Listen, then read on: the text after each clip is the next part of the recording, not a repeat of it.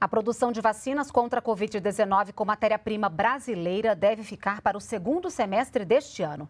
A previsão é de laboratórios que participaram ontem de debate no Senado sobre ações para enfrentar a pandemia. A discussão foi para entender como o Brasil pode ampliar a oferta de vacinas. Um dos caminhos é a produção nacional do chamado ingrediente farmacêutico ativo, o IFA.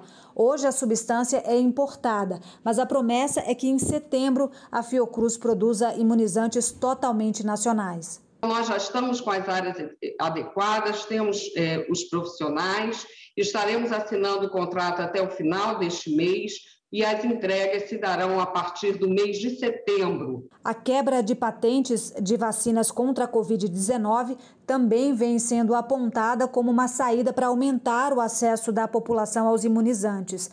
Mas, segundo o Instituto Butantan, essa não seria a melhor solução. Mesmo se ocorresse quebra de patentes, né, nesse momento não haveria como incorporar a produção de muitas dessas vacinas, principalmente as vacinas que são mais complexas. Além disso, a comissão do Senado também debateu a ideia de fabricar imunizantes contra a Covid-19 em laboratórios que produzem vacinas para animais. Hoje, o Brasil tem mais de 20 fábricas desse tipo. De fato, alguns investimentos serão necessários.